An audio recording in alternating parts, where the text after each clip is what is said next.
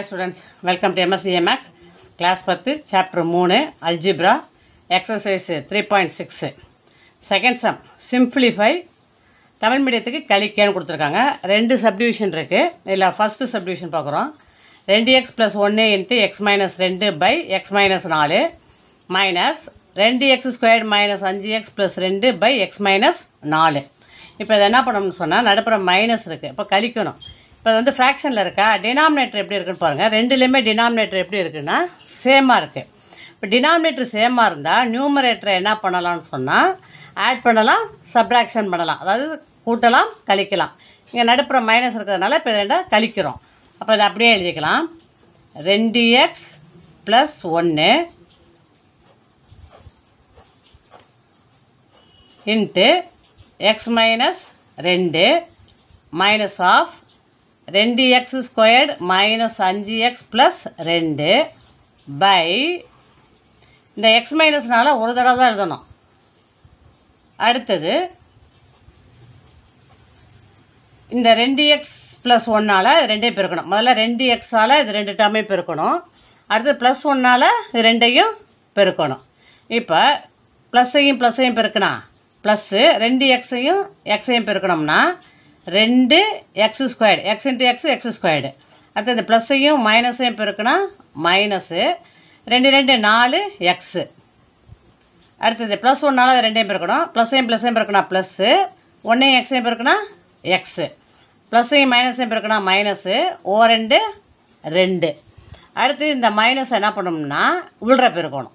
இந்த மைனஸ் மூணு டேர்முக்கு காமன் தானே. ஸோ அதனால் மைனஸ் உள்ற பெருக்கும்போது என்ன ஆகும்னா ப்ளஸ் எல்லாம் மைனஸாக மாறிடும் மைனஸ் எல்லாம் ப்ளஸ்ஸாக மாறிடும். சிம்பிள் சேஞ்ச் ஆகிடும் அப்போ மைனஸ் ரெண்டு எக்ஸ் ஸ்கொயர்டு ப்ளஸ் அஞ்சு எக்ஸு மைனஸ் ரெண்டு பை எக்ஸ் மைனஸ் நாலு.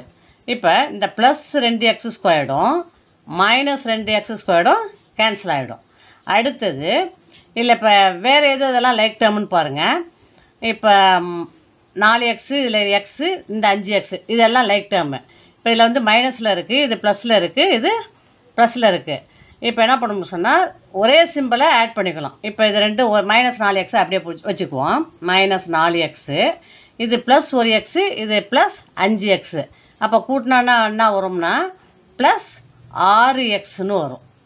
அடுத்தது இந்த மைனஸ் ரெண்டும் இந்த மைனஸ் ரெண்டும் லைக் டேர்மும் ரெண்டுமே ஒரே சிம்பிளில் இருக்குது அப்போ கூட்டுறோம். கூட்டினோம்னா ரெண்டே ரெண்டே கூட்டினா நாலு மைனஸ் போட்டுக்கிறோம். மைனஸ் நாலு பை எக்ஸ் மைனஸ் நாலு. ஸோ இப்போ இது ரெண்டு லைக் இது மைனஸில் இருக்குது இது ப்ளஸில் இருக்குது அப்போ என்ன பண்ணணும்னு சொன்னால் கழிக்கணும். ஆறு எக்ஸில் நாலு எக்ஸை கழிச்சா என்ன வரும்னா ரெண்டு எக்ஸ் பெரிய நம்பர் சைன் போடணும். ப்ளஸ் ரெண்டு எக்ஸு மைனஸ் நாலு. ப்ளஸ் ரெண்டு எக்ஸ் மைனஸ் நாலு பை எக்ஸ் மைனஸ் டூ டினாமினேட்டரில் என்ன இருக்குதுன்னு சொன்னால் எக்ஸ் மைனஸ் டூ தானே இருக்குது எக்ஸ் சாரி எக்ஸ் மைனஸ் நாலு இருக்குது எக்ஸ் மைனஸ்ஸு நாலு. இப்படியே விட்டுறலாம் இப்படியே ஸ்டாப் பண்ணாலும் மார்க் உண்டு. இல்லை இதுக்கு மேலே சிம்பிளிஃபை பண்ணோம்னா இது ரெண்டுலேயுமே என்ன காமனாக இருக்குன்னா ரெண்டு காமனாக இருக்குது ஸோ அப்போ வெளியில் எடுத்தோம்னா இதில் என்ன இருக்கும்? எக்ஸு மைனஸ் இது ரெண்டு ரெண்டு நாலு? அப்போ ரெண்டு பை எக்ஸ் மைனஸ் நாலு. இந்த ரெண்டை உள்ற பெருக்கணுங்கன்னா மேலே வரும் பாருங்கள் ரெண்டு எக்ஸு மைனஸு இது ரெண்டு பேருக்குன்னா மைனஸ் நாலு. ஸோ இவ்வளோ தான் ஆன்சரு செகண்ட் சப்டிவிஷன் நாலு x by x square minus ஒன்று மைனஸ் எக்ஸ் ப்ளஸ் ஒன்று பை எக்ஸ் மைனஸ் ஒன்று ஸோ அப்போ இந்த சம்மு என்ன பண்ண சொல்லியிருக்காங்கன்னா சப்ராக்ஷன் தான் பண்ண சொல்லியிருக்காங்க கழிக்கணும். இப்போ என்ன பண்ணுறேன்னா இந்த ஒரு ஸ்டெப் எழுதிக்குவோம். நாலு எக்ஸ் பை இந்த எக்ஸ் ஸ்கொயர்டு மைனஸ் இந்த ஒன்றை எப்படி எழுதுறேன்னா ஒன்று ஸ்கொயர்டுன்னு எழுதலாம். மைனஸ் எக்ஸ் ப்ளஸ் ஒன்று பை எக்ஸ் மைனஸ் ஒன்று இப்போ இது எந்த ஃபா இப்போ நாலு எக்ஸு பை இப்போ இது எந்த ஃபார்முலாவில் இருக்குன்னா A squared minus B squared இங்கே எழுதுறேன். ஏ ஸ்கொயர்டு மைனஸ் பி ஸ்கொயர்டுக்கு என்ன ஃபார்முலானா A plus B into A minus B இப்படி எழுதலாம். ஸோ அப்போ இது ஏ ஸ்கொயர் மைனஸ் பி ஸ்கொயரில் இருக்கா? அப்போ இது எப்படி எழுதலாம்னா எக்ஸ் ப்ளஸ் ஒன்று இன்ட்டு எக்ஸ் மைனஸ் ஒன்று ஸோ இந்த ஃபார்மேட்டில் தான் இதை எழுதியிருக்கேன். மைனஸ் எக்ஸ் ப்ளஸ் ஒன்று பை எக்ஸ் மைனஸ் ஒன்று இப்போ பாருங்களேன் டினாமினேட்டர் எப்படி இருக்குது சேமாக இருக்கான்னு பாருங்கள் டினாமினேட்டர் சேமாக இல்லை. டினாமினேட்டர் சேமாக இருந்தால் தான் நியூமரேட்டரை ஆட் பண்ணலாம் சப்ராக்ஷன் பண்ணலாம் கூட்டலாம் கழிக்கலாம். இப்போ டினாமினேட்டர் சேமாக இல்லைன்னா அடுத்த ஸ்டெப் என்ன பண்ணோம்னா இந்த டினாமினேட்டருக்கு எல்சிஎம் மீசியமாக கண்டுபிடிக்கணும். இப்போ நம்மளுக்கு வந்து நம்பர்ஸில் இருந்ததுன்னு வச்சுக்கோங்களேன் நம்ம லாஸ்ட்டில் ஒன்று வர வரைக்கும் நம்ம டிவைட் பண்ணிக்கிட்டே வருவோம். அது நம்பர்ஸாக இருந்தால் இந்த மாதிரி எக்ஸ்ப்ரெஷனாக இருந்ததுன்னு சொன்னால் அதுக்கு எல்சிஎம் எப்படி எடுக்கிறதுன்னு சொன்னால் நம்மளுக்கு வந்து காமனாக இருக்கிறது இல்லாதது எல்லாத்தையும் மல்டிபிளில் எழுதணும் பெருக்கல்ல எழுதணும்.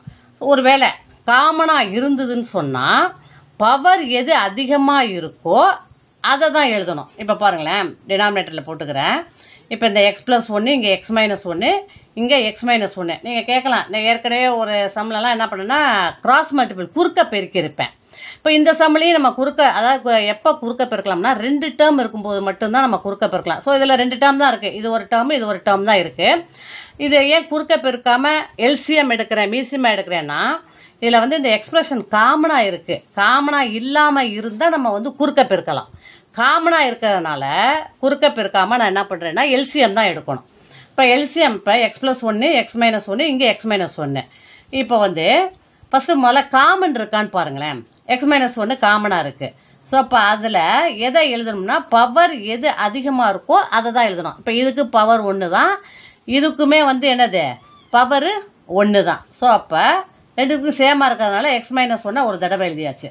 அப்புறம் வேறு எதுவுமே காமனாக இல்லை. அடுத்தது காமன் இல்லாததும் எழுதணும்னு சொல்லியிருக்கேன். அப்போ இன்ட்டு எக்ஸ் ப்ளஸ்ஸு ஒன்று ஸோ இதுதான் எல்சிஎம் அடுத்தது இப்போ பாருங்களேன். இங்கே பாருங்கள் இந்த எக்ஸ் ப்ளஸ் ஒன்று இன்ட்டு எக்ஸ் மைனஸ் ஒன்று அது அப்படியே இருக்கா? அப்போ இந்த நியூமரேட்டரை அப்படியே எழுதிக்கணும். நாலு எக்ஸு மைனஸ் இப்போ இந்த எக்ஸ் மைனஸ் ஒன்று இருக்கா? இந்த எக்ஸ் மைனஸ் ஒன்று எதால் பிறக்குன்னா இந்த எல்சிஎம் வரும்னு சொன்னால் இப்போ இதில் எக்ஸ் மைனஸ் ஒன்று இருக்குது எது இல்லை? எக்ஸ் ப்ளஸ் ஒன்று தானே இல்லை. ஸோ இப்போ அதே எக்ஸ் ப்ளஸ் ஒன்றால் மேலே பெருக்கிறோம். அப்போ ஏற்கனவே என்ன இருக்குது எக்ஸ் ப்ளஸ் ஒன்று இருக்குது மறுபடியும் என்ன பண்ண போகிறோம்னா எக்ஸ் ப்ளஸ் ஒன்னால் பெருக்க போகிறோம் நல்லா கவனிங்க. இங்கே எக்ஸ் மைனஸ் ஒன்று இருக்குது இந்த எதால் பெருக்குன்னா இந்த எல்சிஎம் வரணும். இப்போ இந்த எக்ஸ் மைனஸ் ஒன்று எக்ஸ் மைனஸ் ஒன்று இருக்கிறதுனால எது இல்லை எக்ஸ் ப்ளஸ் ஒன்று தானே இல்லை. அப்போ அதால் மேலே பிறக்கிறோம். அடுத்தது நாலு எக்ஸ் மைனஸ் இது எப்படி இருக்குன்னு சொன்னால் எக்ஸ் ப்ளஸ் ஒன்று இன்ட்டு எக்ஸ் ப்ளஸ் ஒன்று ரெண்டு சேமாக இருக்கா? அப்போ என்ன வரும்னா எக்ஸ் ப்ளஸ் ஒன்று ஹோல் ஸ்கொயர் அதாவது இந்த எக்ஸையும் எக்ஸையும் பெருக்கணும்னா என்ன வரும்? எக்ஸ் ஸ்கொயர்னு வருமா பெருக்கல்ல பேஸு ஒரே மாதிரியா இருந்தால் பவரை கூட்டணும். இங்கேயும் எக்ஸ் ப்ளஸ் ஒன்று இங்கேயும் எக்ஸ் ப்ளஸ் ஒன்று ஸோ அப்போ பவர் இங்கே ஒன்று இங்கே ஒன்று ஒன்றே ஒன்றே கூட்டினா ரெண்டு. அதை தான் போட்டிருக்கேன். பை இது அப்படியே பெருக்கலை அப்படியே ஃபேக்டரிலே வச்சுருக்கேன். எக்ஸ் மைனஸ் ஒன்று இன்ட்டு எக்ஸ் ப்ளஸ் ஒன்று முன்னாடியெல்லாம் ஈக்குவல் போட்டுக்கோங்க. அடுத்தது நாலு எக்ஸ் மைனஸ் இது எந்த ஃபார்முலாவில் இருக்குன்னா A plus B whole square ஃபார்முலாவில் இருக்குது அதையும் எழுதுகிறேன் பாருங்கள் ஏ ப்ளஸ் பி ஹோல் ஸ்கொயர்டுக்கு என்ன formula A square plus B square plus two AB அதாவது ஏஆர் ரெண்டு தடவை பிறக்கணும் ப்ளஸ் பிஆர் ரெண்டு தடவை பிறக்கணும் ப்ளஸ் இந்த ரெண்டு ஏபி மூணையும் பிறக்கணும் ஸோ இந்த ஃபார்மே இந்த ஃபார்மேட்டில் இதை எழுத போகிறோம் இப்போ மைனஸ் ப்ராக்கெட் போட்டுக்கணும். ஏன் ப்ராக்கெட் போடுறேன்னா இதை நம்ம சிம்பிளிஃபை பண்ணும்போது எத்தனை டேர்ம் வரும்? ஒன்று ரெண்டு மூணு டேர்ம் வருதா?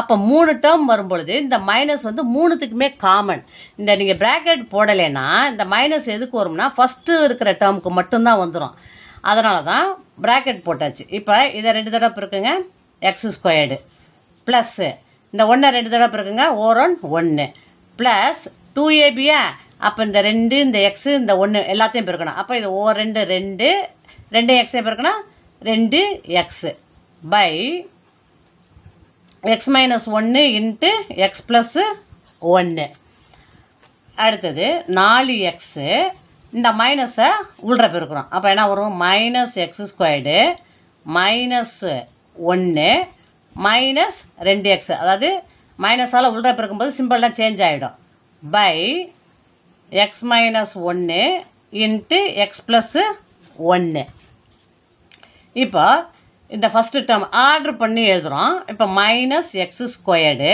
இதை ஃபஸ்ட்டு எழுதுகிறோம் அடுத்தது இது ரெண்டு லைக் டேர்மா நாலு எக்ஸு இது ரெண்டு எக்ஸ் இது ரெண்டுலேயுமே எக்ஸ் இருக்குது அப்போ அது லைக் டேர்மு இப்போ இது வந்து ப்ளஸில் இருக்குது இது மைனஸில் இருக்குது அப்போ கழிக்கணும். சப்ராக்ஷன் பண்ணுறோம் நாலு எக்ஸில் ரெண்டு எக்ஸை கழிச்சோம்னா ரெண்டு எக்ஸு பெரிய நம்பர் சைன் போகணும் இப்போ ப்ளஸ்ஸு இதுதானே பெரிய நம்பர் அப்போ ப்ளஸ் ரெண்டு எக்ஸு மைனஸ் ஒன்று பை எக்ஸ் மைனஸ் ஒன்று இன்ட்டு எக்ஸ் ப்ளஸ்ஸு ஒன்று அடுத்தது இப்போ இது எல்லாத்துலேயும் என்ன பண்ணுறேன்னா மைனஸை நான் வெளியில் எடுக்கிறேன். காமனாக எடுக்கிறேன். அப்போ மைனஸை காமனாக எடுக்கும் பொழுது இங்கே என்ன ஆகிடும்னா சிம்பிள் சேஞ்ச் ஆகிடும் அப்போ ப்ளஸ்ஸு ப்ளஸ் எல்லாம் மைனஸாக மாறிடும். மைனஸ்லாம் ப்ளஸ்ஸாக மாறிடும்.